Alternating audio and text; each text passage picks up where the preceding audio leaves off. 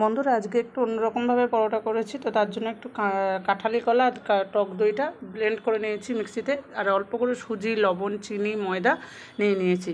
দিয়ে জল ছাড়া কিন্তু মাখবো, তার আগে একটু ছেঁকে নিয়েছি যেন কলার ওই ডালা ডালা ভাবগুলো না থাকে। জাস্ট কলা দিয়ে যে মাখা হয়েছে এটা বোঝাই যাবে না খাওয়ার পরে।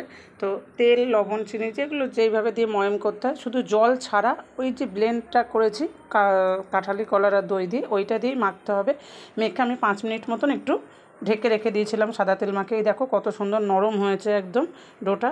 আর ছোট্ট ছোট্ট করে পরোটার আকারে কেটে নিয়েছিলাম। নিয়ে সেটাকে সাদা তেল দিয়ে যেমন করে ভাজে আর কি নর্মালি ভেজেছি। আর তেলটাও কিন্তু খুব কম লাগবে। আর এই দেখো বেলেছি, যেহেতু সুজি ছিল বলে অল্প, সেই জন্য সাইডটা একটু হালকা হালকা ফেটে গিয়েছিল।